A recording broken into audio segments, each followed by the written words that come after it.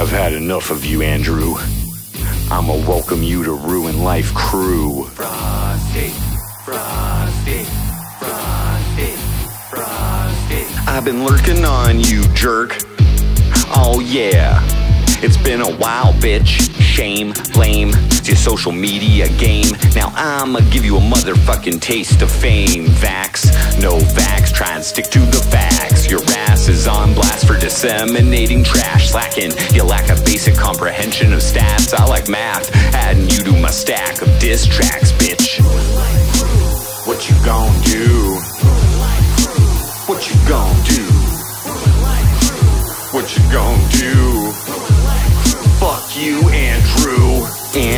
Nielsen is full of shit. Motherfucker can't even see his own dick. Fact check your fat ass on the lie you try and pass as truth. That the jab is the best way to save me. Maybe you, cause of flab and mass. Your gluttonous past. Don't be preaching about health when you can't take care of yourself.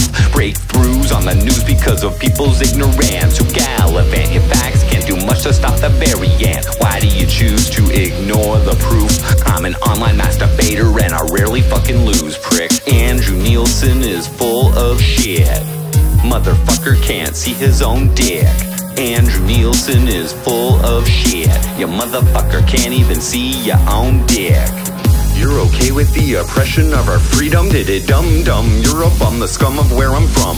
Support the passport, making you a cohort to the violations in our nation. Ineffective vaccinations, blame the unvax, project your fear to the max. Come over here and kiss my unvaccinated nutsack. Then the next time that you be thinking of shilling, recall my balls on your chin, chillin' frosty illin'.